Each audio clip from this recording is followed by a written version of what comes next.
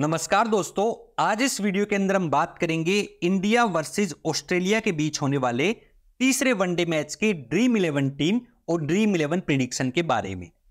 देखो दोस्तों, इस सीरीज़ के अंदर इंडिया की टीम ने ऑलरेडी दो ज़ीरो से बढ़त हासिल कर ली है और इंडिया ने यह सीरीज़ जीत ली है। ऐसे में तीसरे वनडे के अंदर इंडिया की टीम सीरीज़ को तीन ज़ीरो से जीत के क्लीन स्वीप करने के लिए उतरने वाली है।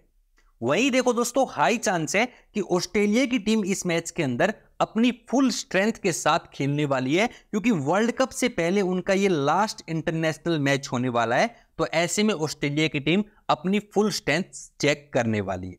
साथ ही देखो दोस्तों, इस मैच के अंदर आपको इंडिया की प्लेइंग इलेवन के अंदर चार से पाँच चेंजेस देखने को मिल सकते हैं, वहीं ऑस्ट्रेलिया की प्लेइंग इलेवन के अंदर आपको दो से तीन चेंजेस देखने को मिल सकते हैं। तो ऐसे में आप टीम कैसे बनाए, क्या सिनेरियो रहेगा, जानने के लिए वीडियो को पूरा याद से देख लीजिएगा। देखो दोस्तों, ये वाला मैच खेला जाएगा Saurashtra cricket association stadium Rajkot के ग्राउंड के ऊपर सताईस सितंबर को दोपहर को एक बज के तीस मिनट पे मैच स्टार्ट होगा। सबसे पहली बात यार वीडियो को लाइक कर दो। लाइक करना बिल्कुल फ्री है। लाइक करने का एक भी पैसा नहीं लग रहा। और साथ ही चैनल को सब्सक्राइब कर लो। सब्सक्राइब करोगे तो हम वर्ल्ड कप के अंदर ऐसी आपको कमाल कमाल की प्रिडिक्शन और टीम वगैरह प्रोवाइड करते रहेंगे। और वीडियो को लाइक याद से कर देना। दूसरी महत्वपूर्ण बात, देखो यार, यहाँ पे क्या होता है ना कि टॉस होने के बाद प्लेइंग इलेवन के अंदर काफ़ी चेंजेस हो जाते हैं। पिच रिपोर्ट आती है टॉस होने के बाद। तो वो सारी चीज़ें आपको हमारे टेलीग्राम चैनल के ऊपर मिलेगी। इस वीडियो के डिस्क्रिप्शन में लिंक है। लिंक पे क्लिक करके टेलीग्राम चैनल याद से ज्वाइन कर लीजिएगा। बिल्कुल फ्री है, कोई पैसा नहीं लग रहा। आपको कुछ ना कुछ सीखने को ही मिलेगा टेलीग्राम के ऊपर।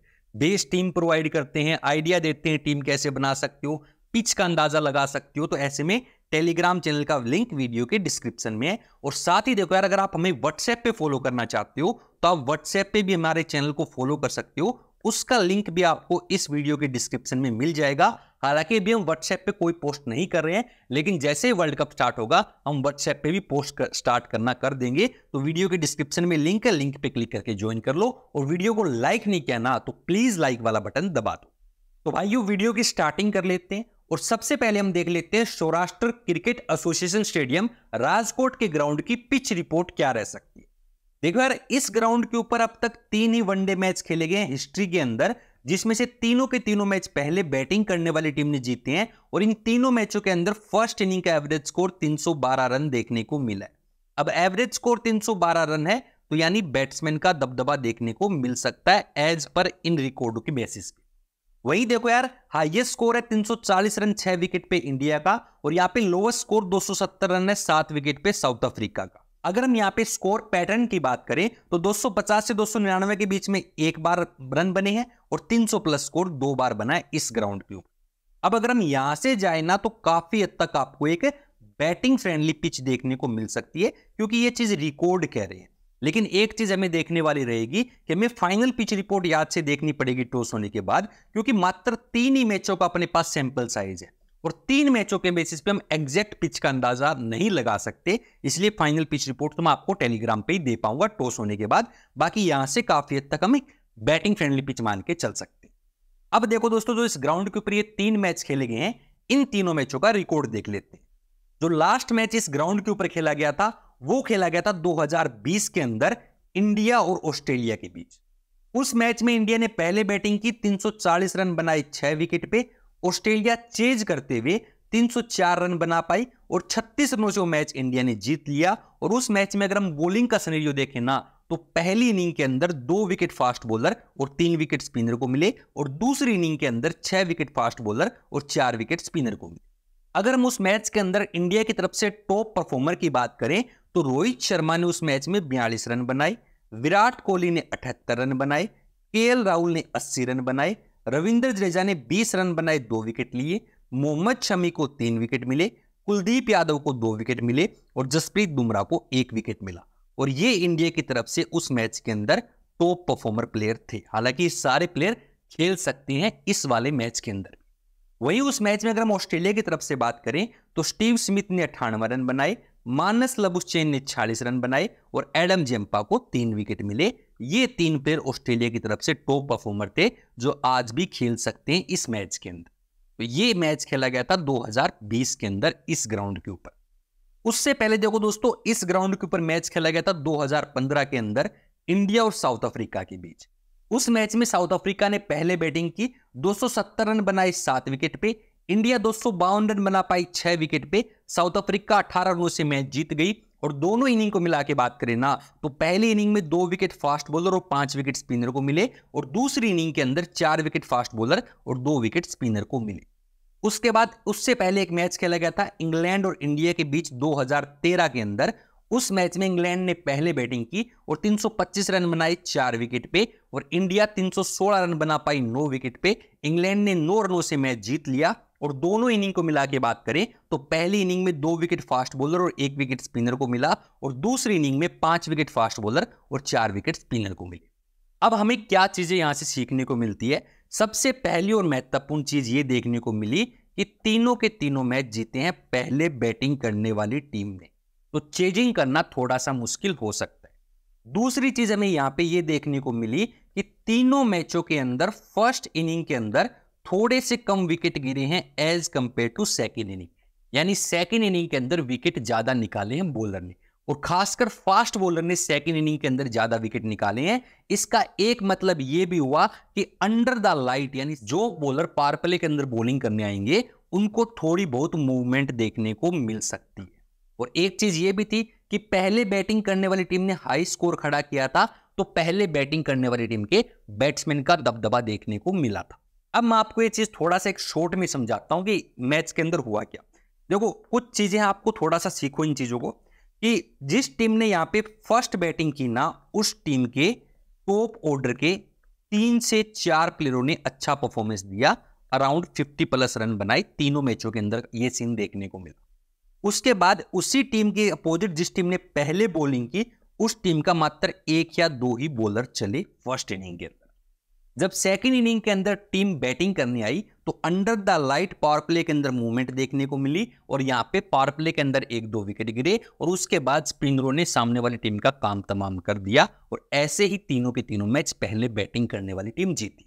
अब अगर आप ग्रैंड लीग की टीम बना रहे हो तो आप एक आधा स्नेरियो ये भी अप्लाई कर सकते हो कि जो टीम पहले बैटिंग करे, उसके आप तीन से चार बैट्समैन लेके चलो और पहले ही बैटिंग करने वाली टीम के आप दो से तीन बॉलर लेके चलो और जो टीम पहले बॉलिंग करे, उसके आप एक मेन बॉलर ले लो या दो मेन बॉलर ले लो और सेकेंड इनिंग के अंदर जब वो टीम बैटिंग करने आए तो उसके आप मिडिल ओवर के मिडिल ऑर्डर के बैट्समैन ले लो एक दो। एक दो ग्रैंड लीग की टीम ऐसे बना सकते हो। अब ये स्नेरियो मैंने आपको इसीलिए बताया मेरे भाइयों, क्योंकि इंडिया फेवरेट टीम है सबकी। लेकिन अगर ऑस्ट्रेलिया पहले बैटिंग करती है तो ऑस्ट्रेलिया के फेवर में थोड़े कम बंदे टीम बनाएँगे तो आप ग्रैंड लीग की एक आधी रिस्क की टीम ऐसे ऑस्ट्रेलिया के फेवर में बना सकते हो। बाकी हम, बाकी हर एक प्लेयर का रिकॉर्ड हम आगे देखने वाले और वीडियो को लाइक नहीं किया ना तो प्लीज़ लाइक वाला बटन दबा दो और फाइनल पिच रिपोर्ट टेलीग्राम पे मिलेगी, उसको देखने के बाद ही टीम बनाना। क्योंकि अगर पिच, अगर पैची हुई टू पेस्ट हुई तो ऐसे में थोड़ा सीनेरियो डिफरेंट हो सकता है। अब दोस्तों, हम बात कर लेते हैं इंडिया और ऑस्ट्रेलिया के हेड टू हेड रिकॉर्ड के बारे में। देखो दोस्तों, दोनों टीमों ने अब तक 148 हेड टू हेड मैच खेले हैं, जिसमें से इंडिया की टीम ने छप्पन मैच जीते हैं और ऑस्ट्रेलिया ने बयासी मैच जीते हैं। लेकिन अगर आप लास्ट के पाँच सात सालों की बात करोगे ना तो हेड टू हेड के अंदर दोनों टीमों का नेक टू नेक कंपटीशन आपको देखने को मिलने वाला है तो मैच कोई टीम जीत सकती है। हालाँकि लास्ट के दोनों मैच इंडिया की टीम जीती थी। अगर ऑस्ट्रेलिया की टीम यहाँ पे अपनी फुल स्ट्रेंथ के साथ उतरेगी ना तो ऑस्ट्रेलिया पूरी पूरी टक्कर देने वाली है इंडिया को। अब अगर हम बात करें इसी सीरीज़ के खेले गए लास्ट के दोनों हेड टू हेड मैच और उनकी ड्रीम इलेवन की फ़र्स्ट रैंक की टीम तो वो हम सबसे पहले देख लेते हैं। जो पहला मैच था वो खेला गया था मोहाली के ग्राउंड के ऊपर। उस मैच में ऑस्ट्रेलिया ने पहले बैटिंग करते हुए दो सौ छिहत्तर रन बनाए 10 विकेट पे। इंडिया ने दो सौ इक्यासी रन बना के पाँच विकेट से मैच जीत लिया और उस मैच के अंदर फ़र्स्ट रैंक की ड्रीम इलेवन की कुछ ऐसी टीम देखने को मिली थी जिसमें अगर हम टॉप 11 प्लेयर की बात करें तो ऑस्ट्रेलिया की तरफ़ से डेविड वार्नर ने बावन रन बनाए, स्टीव स्मिथ ने इकतालीस रन बनाए जोस इंग्लिश ने पैंतालीस, कैमरून ग्रीन ने इकतीस, एडम जेम्पा को दो विकेट मिले, पैट कमिंग्स ने एक विकेट लिया और इक्कीस रन बनाए। और आपको ऑस्ट्रेलिया की तरफ़ से David Warner, Steve Smith Josh Inglis, Cameron Green, Adam Zampa और पैट कमिंग्स फ़र्स्ट रैंक की टीम में देखने को मिले थे। पहले वनडे मैच की बात कर रहा हूँ। वहीं उस मैच में इंडिया की तरफ़ से शुभमन गिल ने चौहत्तर रन बनाए, लेकिन शुभमन गिल ये वाला मैच नहीं खेलेंगे। ऋतुराज गायकवाड़ ने इकहत्तर रन बनाए, के राहुल ने अट्ठावन रन बनाए सूर्य कुमार यादव ने पचास रन बनाए और मोहम्मद शमी को पाँच विकेट मिले। और आपको इंडिया की तरफ़ से के एल राहुल, शुभमन गिल, ऋतुराज गायकवाड़ सूर्य कुमार यादव और मोहम्मद शमी देखने को मिले थे, जिसमें कप्तान बने थे मोहम्मद शमी और वाइस कप्तान बने थे शुभमन गिल। हालाँकि शुभमन गिल भी ये वाला मैच नहीं खेलेंगे। शुभमन गिल की जगह आई चांस रोहित शर्मा ये वाला मैच खेलने वाले हैं और ऋतुराज गायकवाड़ की जगह यहाँ पे विराट कोहली ये वाला मैच खेलने वाले हैं। तो ये दो प्लेयर यहाँ पे चेंज हुए हैं इंडिया की तरफ़ से। अब दूसरा वनडे हुआ था इंदौर के ग्राउंड के ऊपर।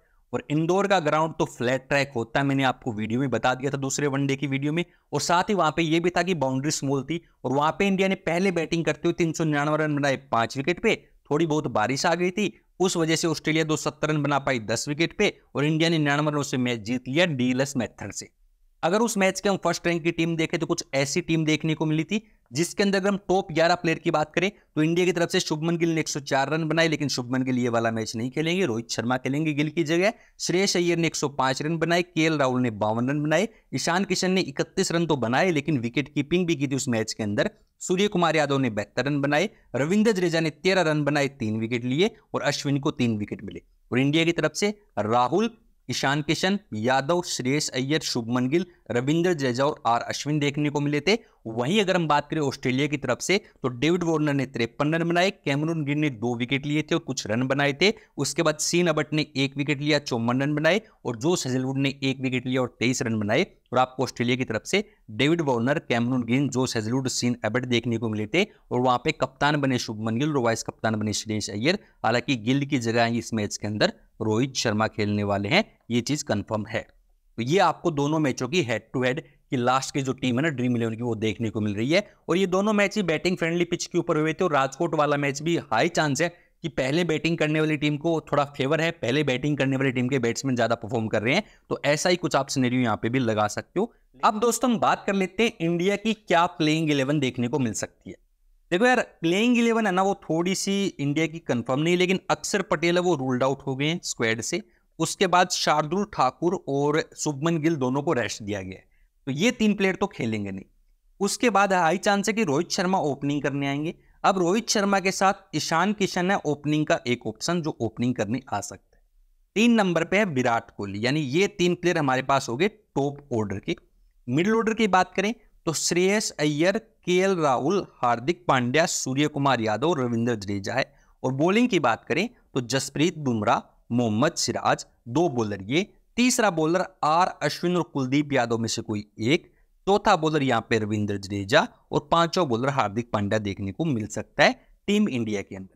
लेकिन यहाँ पे एक प्रॉब्लम ये है टीम इंडिया के अंदर कि इंडिया ऐसा भी कुछ कर सकती है कि टीम इंडिया इस मैच के अंदर सूर्य कुमार यादव को भी रेस्ट दे सकती है और ऐसे में अश्विन, कुलदीप, मोहम्मद, सिराज, मोहम्मद शमी और जसप्रीत बुमराह में से इन्हीं चार प्लेयर को खिला सकती है और चार बॉलर ये हो जाएँगे पाँचों बॉलर जडेजा और छठा बॉलिंग ऑप्शन हार्दिक पांड्या देखने को मिल सकता है। यहाँ पे एक दो चेंज होगा इंडिया के अंदर, ये कंफर्म है। अगर यादव खेलेगा तो इंडिया की टीम को पूरे के पूरे पाँच बॉलिंग ऑप्शन के साथ ही जाना पड़ेगा। लेकिन अगर यादव नहीं खेलता है तो उस केस के अंदर इंडिया को यहाँ पे चार बॉलर और एक जडेजा, पांचवा बॉलर और उसके बाद छठा बॉलर हार्दिक पांड्या के साथ जा सकती है इंडिया की टीम। ये आपको हाई चांस है प्लेइंग इलेवन में थोड़ा सा चेंज देखने को मिल सकता है। अब देखो दोस्तों, हम इंडिया के प्लेयरों का रिकॉर्ड देख लेते हैं। रोहित शर्मा की अगर आप रिसेंट फॉर्म की बात करो तो ज़ीरो तिरपन, छप्पन, चौहत्तर, ग्यारह। अगर आप लास्ट के पाँच मैचेस की बात करो तो लास्ट के पाँच में से तीन मैचों के अंदर इस प्लेयर ने फिफ्टी लगाई। उसके बाद ईशान किशन की अगर हम बात करें तो 31, 18, 33, बयासी तिहत्तर पचपन सिर्फ़ लास्ट के पाँच छह मैचों में एक मैच में 18 रन है बाकी हर एक मैच के अंदर अच्छा परफॉर्मेंस है और ड्रीम टीम में अपनी जगह बनाई है इस प्लेयर ने। इस प्लेयर का सिलेक्शन भी आपको बहुत कम देखने को मिलेगा और अगर लास्ट मैच की तरह इस प्लेयर से विकेट कीपिंग करवाती ना टीम इंडिया तो ग्रैंड लीग का डिफरेंशियल प्लेयर है, मात्र सोलह सत्रह परसेंट सिलेक्शन विराट कोहली देखो यार, विराट कोहली अगर आप रिसेंट फॉर्म की बात करो ना तो तीन एक सौ बाईस, चार चौवन इकतीस, पाकिस्तान के खिलाफ एक सौ बाईस रन थे और एशिया कप के अंदर मात्र एक ही मैच में चप फॉर्म किया था पाकिस्तान के खिलाफ, उससे पहले चौवन और इकतीस रन। उसके बाद श्रेयस अय्यर की अगर हम बात करें तो लास्ट मैच में 104 रन थे, लेकिन उससे पहले इतनी अच्छी फॉर्म नहीं थी, लेकिन यहाँ पे इस प्लेयर को फिर से अपने आप को प्रूव करना पड़ेगा, चार या पाँच नंबर पे तो परफॉर्मेंस दे सकता है। के राहुल की अगर हम बात करें तो देखो यार, जब से के राहुल ने वापसी की है ना, तब से एक भी मैच ऐसा नहीं गया है, जिसके अंदर केएल राहुल ड्रीम टीम के अंदर ना आया हो। बावन थे लास्ट मैच में, उससे पहले अट्ठावन, उनतालीस, एक सौ ग्यारह, बत्तीस, हर एक मैच में अच्छा परफॉर्मेंस है। और वैसे इंडिया का जो मेन विकेट कीपर है ना, वो के राहुल है। अगर ये विकेट कीपिंग करता है तो ये फिर इंपॉर्टेंट भी है। और वैसे भी कैप्टनसी वाइस कैप्टनसी का भी दावेदार निकल के आ सकता है। हार्दिक पांड्या की देखो यार, अगर हम बात करें तो हार्दिक पांड्या ने एशिया कप खेला था लास्ट उसके बाद वनडे सीरीज़ खेली नहीं थी। इस मैच में वापसी करेंगे। हार्दिक पांड्या इंडिया की तरफ़ से पाँच से छह ओवर की बॉलिंग भी करने वाले हैं। अगर आप रिसेंट फॉर्म की बात करें तो यहाँ पे तीन विकेट पाँच रन, एक विकेट एक विकेट एक विकेट सतासी रन। अगर आप लास्ट के पाँच मैचेस की बात करें तो बैटिंग से तो इतना अच्छा कॉन्ट्रीब्यूशन नहीं है, लेकिन बॉलिंग से ठीक ठाक कॉन्ट्रीब्यूट कर रहे हैं। उसके बाद रविंद्र जडेजा की बात करें, देखो जडेजा लास्ट मैच से पहले थोड़ा फ्लोप चल रहे थे, लेकिन लास्ट मैच में तेरह रन और तीन विकेट थे, आउटस्टैंडिंग परफॉर्मेंस था। उसके बाद तीन रन, एक विकेट, सात रन, एक विकेट, चार रन, दो विकेट, ये एशिया कप और ऑस्ट्रेलिया सीरीज़ का रिकॉर्ड है जडेजा का। उसके बाद अश्विन की बात करें, अश्विन ने लास्ट मैच में तीन विकेट लिए थे, उससे पहले एक विकेट, उससे पहले ज़ीरो विकेट, दो विकेट, तीन विकेट, एक विकेट एक विकेट। देखो, अश्विन अगर इंडिया की टीम सेकेंड इनिंग के अंदर बॉलिंग करती है ना, मान लेते इंडिया टॉस जीत के पहले बैटिंग चूज़ कर लेती है और इंडिया सेकंड इनिंग के अंदर बॉलिंग करती है ना तो ऐसे में जडेजा और अश्विन दोनों ही क्रूशल रह सकते हैं, क्योंकि सेकेंड इनिंग के अंदर ये दोनों प्लेयर विकेट निकाल सकते हैं। उसके बाद Jasprit Bumrah right arm fast medium pacer अगर बुमराह को ड्रॉप करना बहुत रिस्की चीज़ होता है तो हमें टीम में मैक्सिमम टीमों में रखना पड़ेगा और लास्ट के पाँच छह मैच देखोगे तो एक मैच को छोड़ दो, हर मैच के अंदर इस प्लेयर ने विकेट निकाले मोहम्मद सिराज की बात करें, सिराज भी काफ़ी अच्छे टच में अगर आप लास्ट के पाँच छह मैचेस की बात करो तो एक मैच को छोड़ दो, हर मैच विकेट निकाले और लास्ट मैच खेला था ना श्रीलंका के खिलाफ, उसके अंदर तो भाई ने छह विकेट निकाले थे। एशिया कप का फाइनल मैच उसके बाद मोहम्मद शमी की बात करें जो अगर मोहम्मद शमी का रिकॉर्ड भी थोड़ा डिसेंट है और ऑस्ट्रेलिया के खिलाफ भी काफ़ी अच्छी रिकॉर्ड कैरी करते हैं तो ये आपको इंडिया के इलेवन प्लेयरों का रिकॉर्ड देखने को मिल रहा है। उसके बाद अगर यादव खेलते हैं तो यादव ने अब तक दो मैच खेले इस सीरीज़ के अंदर, दोनों में इकहत्तर और पचास रन बनाए। दोनों मैचों के अंदर ड्रीम टीम में आया है ये प्लेयर अगर खेलेगा तो जीएल के अंदर मौका दिया जा सकता है, क्योंकि 40-50 परसेंट ही आपको सिलेक्शन देखने को मिलेगा। कुलदीप यादव अगर खेलता तो इंपॉर्टेंट है। बाकी मेरे हिसाब से तो कुलदीप यादव को इस मैच में नहीं मौका देना चाहिए, क्योंकि कुलदीप यादव ने ऑलरेडी प्रूव कर दिया एशिया कप के अंदर कि वो कमाल का बॉलर है। ऐसे में अश्विन, क्योंकि अक्षर पटेल अब रूल्ड आउट हो रहे इंजर्ड हो रहे तो अक्षर पटेल की रिप्लेसमेंट कोई तो चाहिए ना वर्ल्ड कप के अंदर। तो अक्षर पटेल की रिप्लेसमेंट क्या हो सकती है? आर अश्विन, जैसे टीम मौका दे रही है अश्विन को तो ऐसे में अश्विन को ज़्यादा मौके देने चाहिए वर्ल्ड कप से पहले, ताकि वो प्लेयर अपनी तैयारी अच्छी से कर सके और अश्विन बैटिंग भी ठीक ठाक कर लेता है काम चला लेता है तो शायद यहाँ पे कुलदीप यादव की जगह अश्विन को मौका दिया जाएगा। लेकिन अगर कुलदीप खेलता है ना तो हमें टीम में रखना पड़ेगा। उसके बाद वॉशिंगटन सुंदर को अभी तक मौका नहीं मिला है, इस मैच में मौका मिलेगा, नहीं मिलेगा देखने वाली बात है। और अक्षर पटेल तो आपको पता रूल्ड आउट हो गई।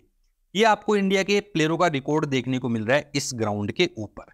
अब देखो यार, सिंपल सी चीज़ है कि यहाँ पे रोहित का रिकॉर्ड भी ठीक है, ईशान का ठीक है, कोहली का ठीक है, राहुल का ठीक है, यानी एक, दो, तीन, चार प्लेयरों का ठीक है। उसके बाद हार्दिक पांड्या भी सेफ़ है, जडेजा भी सेफ़ है, बुमराह भी सेफ़ है, सिराज भी सेफ़ है और शमी भी सेफ़ है। इंडिया की तरफ़ से सारे प्लेयर यहाँ पे सेफ़ निकल के आ रहे अब हमें टीम कैसे बनानी? देखो यार, अगर आप ग्रैंड लीग की एक एक दो दो टीम बना रहे हो ना तो अगर इंडिया पहले बैटिंग करे तो रोहित, ईशान, विराट, राहुल और अय्यर, पाँच में से किन्हीं तीन या चार को ट्राई करने की कोशिश करो। उसके बाद शमी मोहम्मद सिराज और बुमराह में से किन्हीं दो को लेने की कोशिश करो और जो तीन ऑलराउंडर ना, उनमें से किसी दो को लेने की कोशिश करो और इंडिया के सात से आठ प्लेयर ले लो। इंडिया अगर पहले बैटिंग कर रही है तो ग्रैंड लीग की एक टीम ऐसे बना सकते हो। बाकी फाइनल टीम तो आपको टेलीग्राम पे दे दूँगा, मैंने आपको रिकॉर्ड बताया सारे प्लेयर अब देखो दोस्तों, अगर हम ऑस्ट्रेलिया की तरफ़ से बात करें ना तो अगर ऑस्ट्रेलिया की टीम मेरे हिसाब से इस मैच के अंदर अपनी फुल स्ट्रेंथ के साथ खेलनी चाहिए। क्योंकि वर्ल्ड कप से पहले उनका ये लास्ट वनडे मैच है, उसके बाद एक दो वार्म अप मैच खेलने वार्म अप मैच में वैसे ही आप इतना प्रॉपर वनडे के तरीके से नहीं खेल सकते, क्योंकि वार्म अप मैच में तो कोई भी कभी भी बैटिंग करने आ सकता है। तो ऐसे में ऑस्ट्रेलिया को अपनी फुल स्ट्रेंथ के साथ खेलना चाहिए, और ऐसे में हाई चांस है डेविड वार्नर और मिचल मार्श ओपनर तीन नंबर पे स्टीव स्मिथ ये तीन प्लेयर हो गए टॉप ऑर्डर अब चार नंबर पे मानस लबुचैन या फिर चार नंबर पे इनकी तरफ़ से आपको कैमरून ग्रीन देखने को मिल सकते हैं। उसके बाद मैक्सवेल भी खेल सकते हैं। उसके बाद मिडल ऑर्डर के अंदर Alex Carey, Marcus Stoinis, Pat Cummins तक बैटिंग कर लेते हैं। और बॉलिंग की बात करें तो Adam Zampa Josh Hazlewood, Pat Cummins तीन बॉलर, ये चौथा बॉलर मिचल स्टाक और सीन अबट में से कोई एक। पांचवा बॉलर मार्कस टोनियस, छठा बॉलर अगर कैमरून ग्रीन खेलता तो कैमरून ग्रीन, और सातवां बॉलर अगर मैक्सवेल खेलता तो मैक्सवेल आपको देखने को मिल सकता है। बाकी मानस लबुश्चैन शायद इनकी वर्ल्ड कप की स्क्वाड के अंदर है या नहीं, मेरे को ये देखना पड़ेगा। अगर मानस लबुश्चैन वर्ल्ड कप की स्क्वाड के अंदर अगर इनका नहीं है ना तो शायद यहाँ पे हो सकता है इनकी टीम यहाँ पे कैमरून ग्रीन को चार नंबर भेज के, पाँच पे एलेक्स कैरी, छह पे मैक्सवेल, सात पे मार्कस को भी भेज सकती है।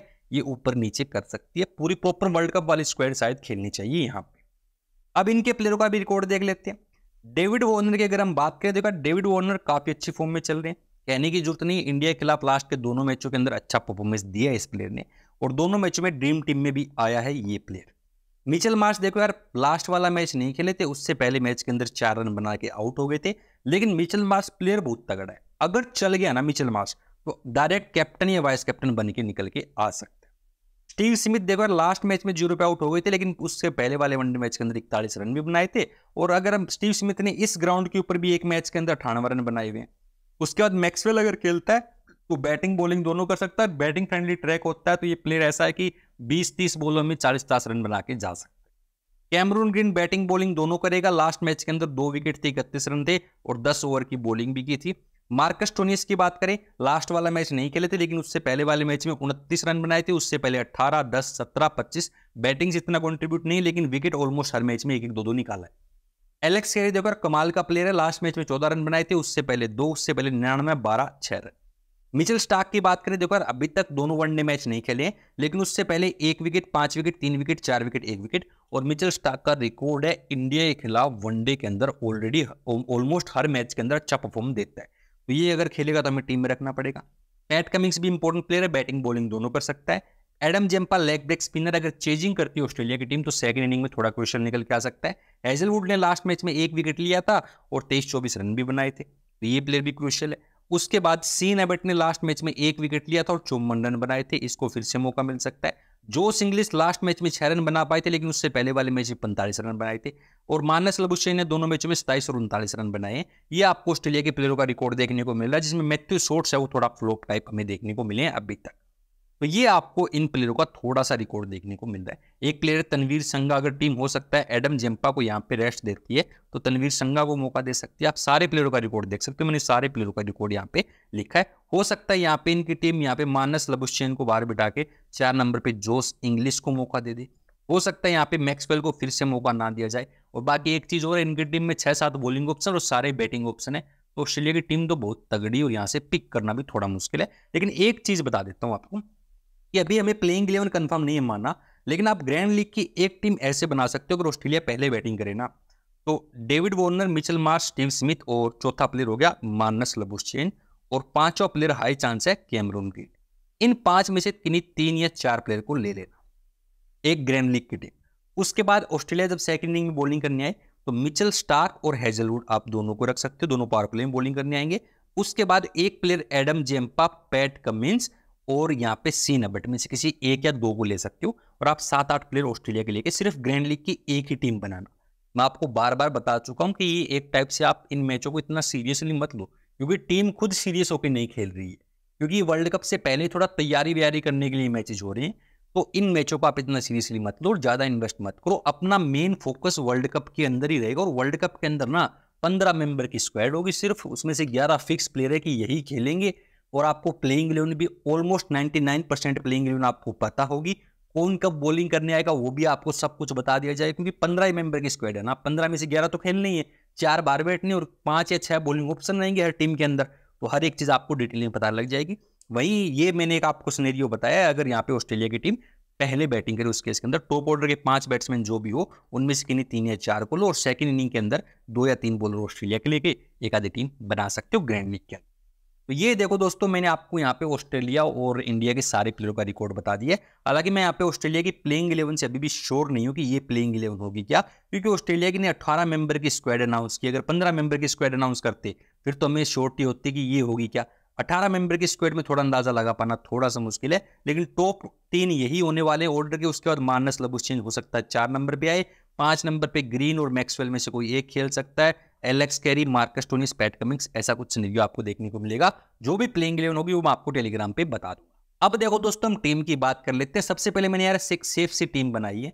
विकेट कीपर के अंदर राहुल को लिया है। बैटिंग के अंदर रोहित शर्मा, विराट कोहली, डेविड वोनर और स्टीव स्मिथ को लिया ऑलराउंडर में हार्दिक पांड्या और रविंद्र जडेजा को लिया है। बॉलिंग में मोहम्मद सिराज, पैट कमिंग्स और जसप्रीत बुमराह को लिया है। दस प्लेयर चूज़ किए हैं। ग्यारह प्लेयर आपकी चॉइस का है। मिचल स्टार्क लो कैमरून ग्रीन लो, मार्कस टोनियस लो, श्रेयस अय्यर लो या फिर मानस लबुस्चेन ये कुछ ऑप्शन आप इनमें से ले सकते हो। हालाँकि ये टीम मैंने बनाई है, बिल्कुल भेड़ चाल वाली टीम, क्योंकि हर एक बंदा ये टीम बनाएगा और ये टीम एक आपको सेफ़ टीम देना बहुत ज़रूरी है, क्योंकि सेफ़ टीम मैक्सिमम बंदे स्मॉल लीग के अंदर लगाते हैं। तो ये है एक safe team. Captaincy, vice captaincy simple है, विराट कोहली और स्टीव स्मिथ, ये दोनों बिल्कुल सेफ़ ऑप्शन है। रोहित शर्मा थोड़ा सा रिस्की ऑप्शन है और रोहित शर्मा के साथ अगर दूसरा रिस्की ऑप्शन ढूंढना चाहो तो यहाँ पे राहुल निकल के आ सकते अब मैं आपको एक ग्रैंड लीग की टीम दिखाता हूँ। ये टीम मैंने लगाई है अगर इंडिया की टीम पहले बैटिंग करे उस सनेरियो के अंदर। यहाँ पे मैंने विकेट कीपर में लिया लोकेश, राहुल और ईशान किशन को। बैटिंग में लिया रोहित शर्मा, विराट कोहली, स्टीव स्मिथ और मानस लबुश्चैन को। उसके बाद ऑलराउंडर में लिया रविंद्र जडेजा को। बॉलिंग में लिया मोहम्मद सिराज, जसप्रीत बुमराह, एडम जेम्पा और सीन एबट यहाँ पे मैं एक पॉसिबल चेंज कर सकता हूँ। यहाँ पे अगर मैं चाहूँ ना तो एबट को थोड़ा सा रिस्क लेके हो सकता है यहाँ पे मैं इंडिया की तरफ़ से एक एक्स्ट्रा स्पिनर कुलदीप यादव और आर अश्विन में से जो भी खेले, उसको मौका दे दूँ और चाहो तो ईशान किशन की जगह हार्दिक पांड्या को मौका दे सकते कप्तान यहाँ पे मैंने बनाया स्टीव स्मिथ को और वाइस कप्तान बनाया विराट कोहली को। ये है ग्रैंड लीग की टीम नंबर वन जो इंडिया के शेयर में मैंने बनाई है। यहाँ पे पॉसिबल चेंज फिर से बता देता हूँ। अगर आप यहाँ पे इनके किसी बॉलर पे रिस्क लो तो इंडिया के एक एक्स्ट्रा बॉलर ऐड कर सकते हो। कुलदीप यादव, आर अश्विन, जो भी स्पिनर खेले, वो ईशान किशन पे रिस्क लो तो हार्दिक पांड्या ऐड कर सकते हो, या मोहम्मद शमी को भी ऐड कर सकते हो आपकी अपनी चॉइस रहने वाली। अब देखो दोस्तों, ऑस्ट्रेलिया की टीम सीरीज़ हार चुकी है तो कोई भी बंदा ऑस्ट्रेलिया के फेवर में टीम नहीं बनाने वाला। और मैं भी, हम भी इंडियन है तो हम इंडिया के, हर एक मैच में इंडिया की जीत के बारे में सोच के टीम बनाते हैं ना। तो यहाँ पे मैंने एक टीम बनाई है ऑस्ट्रेलिया के फेवर के अंदर, जिसमें मैंने विकेट कीपर में लिया है एलेक्स कैरी को, बैटिंग में लिया David Warner, Steve Smith, Shreyas Iyer और विराट कोहली को, ऑलराउंडर में मार्कस टोनियस को लिया है और बॉलिंग में Mitchell Starc, Pat Cummins, Adam Zampa, Josh Hazlewood और आर अश्विन को लिया है और यहाँ पे भी कैप्टनसी, वाइस कैप्टनसी मेरे लिए विराट कोहली और स्टीव स्मिथ आइडियल चॉइस निकल के आ रहे हैं। हालाँकि यहाँ पे एक ज़्यादा रिस्क लेके यहाँ पे स्टार्क के साथ जा सकते हो आप इस सैन के अंदर, लेकिन ये थोड़ा रिस्की हो सकता है, लेकिन स्टीव स्मिथ और विराट कोहली अभी भी निकल के आ रहे हैं। यहाँ पे अगर आप चाहो तो आप अय्यर की जगह हो सकता है हार्दिक पांड्या को मौका दे दो, और यहाँ पे अगर आप अश्विन को ना लेना चाहो और कुलदीप यादव के लिए तो कुलदीप यादव को मौका दे सकते हो। ये भी रिस्क की टीम है देखो यार, या फिर अय्यर की जगह आप लोकेश राहुल को भी मौका दे सकते हो, एक आधा पॉसिबल चेंजेस कर सकते हो। एक चीज़ और है अगर आप यहाँ पे ऐसा है ना कि मैंने यहाँ इनके चार बॉलर लिए अगर आप चाहते हो कि आप इनके दो या तीन बॉलर लो तो एक प्लेयर है डिफरेंशियल प्लेयर बता देता हूँ, जिसका नाम है मिचल मार्स यहाँ पे आप मिचल मार्स को ले सकते हो। मिचल मार्स को आप वैसे भी ले सकते हो, क्योंकि यहाँ पे मैंने ना कोई भी इंडिया का पावर प्ले का बॉलर नहीं लिया मैंने सिर्फ़ एक अश्विन अश्विन को लिया इंडिया की तरफ़ से। कोई भी इंडिया का पावर प्ले का बॉलर नहीं लिया है, यानी डेविड वॉर्नर और मिचल मार्स ओपनिंग करने आते हैं तो यहाँ पे आप मिचल मार्स भी ले सकते हो। इनमें से जो Mitchell Starc Pat Cummins Adam Zampa Hazlewood में से किसी एक को ड्रॉप करके। तो ये देखो दोस्तों, ऑस्ट्रेलिया की फेवर में टीम है थोड़ी रिस्की टीम है, ये इंडिया की फेवर में टीम और ये एक बेस सी टीम है बाकी यहाँ पे आप थोड़ा सा कम ही इन्वेस्ट करो इस मैच के अंदर, थोड़ा रिस्की मैच है। वर्ल्ड कप स्टार्ट हो रहा है वर्ल्ड कप के अंदर 48 में से कम से कम 30 मैच ऐसे होंगे जो कमज़ोर टीमों के मैच हों। जैसे ऑस्ट्रेलिया और इंग्लैंड का मैच होगा ना तो थोड़ा रिस्की होगा वर्ल्ड कप के अंदर। क्योंकि ऐसे में जो ऑस्ट्रेलिया इंग्लैंड जैसी टीमें होती है ना उनके अंदर बहुत सारे बैटिंग ऑप्शन है, बहुत सारे बॉलिंग ऑप्शन है। लेकिन जैसे बांग्लादेश का मैच है, श्रीलंका का मैच है नेदरलैंड का मैच है उसके बाद अगर हम बात करें, पाकिस्तान का मैच है, अफ़गानिस्तान का मैच है, उन मैचों के अंदर फिक्स प्लेयर होते हैं सात से आठ। जैसे अगर मान लेते हैं, आप एक सिनेरियो मान के चलो कि नीदरलैंड और पाकिस्तान का कोई मैच है तो शाहीन अफरीदी का फिक्स है कि एक या दो विकेट तो दो विकेट तो पक्के निकालेगा, हैरिस राउफ का फिक्स है। ऐसे दो तीन प्लेयर फिक्स निकल के आ जाएँगे। बैट्समैन में बाबर आज़म जैसे प्लेयर का फिक्स है। अब मान लेते हैं, इंडिया और नीदरलैंड का मैच है। वर्ल्ड कप के अंदर ऐसा भी होगा ना कि बुमराह विकेट निकालेगा, नीदरलैंड के खिलाफ, कुलदीप यादव पक्का विकेट निकालेगा नीदरलैंड के खिलाफ। उसके बाद इंडिया की तरफ़ से रोहित और शुभमन ओपनिंग करने आएँगे तो शुभमन के हाई चांस रन बनाएगा बनाएगा। विराट कोहली के रन बनाएगा। पांड्या विकेट निकाल सकता है। ऐसे में सात आठ प्लेयर फिक्स होते हैं और उसमें ग्रैंड लीग की टीम बनाना बहुत आसान रहता है। तो वर्ल्ड कप पे अपना मेन फोकस है। ये मैंने बस आपको इन्फॉर्मेशन देने के लिए बताई है चीज़ें। आप इनमें कम ही इन्वेस्ट कीजिए और फिर से कहूँगा, बहुत सारे मैच है। वर्ल्ड कप के अड़तालीस मैच है आपके लिए। अच्छे मैच है, उनमें से कम से कम तीस मैच तो ऐसे हैं, जो वन साइडेड हम प्रिडिक्ट कर सकते हैं। हर कोई मैच हर कोई बंदा प्रिडिक्ट नहीं कर सकता। उम्मीद करता हूँ वीडियो आपको अच्छी लगी अच्छी लगी तो लाइक कर दीजिए चैनल को सब्सक्राइब करना ना बोले धन्यवाद।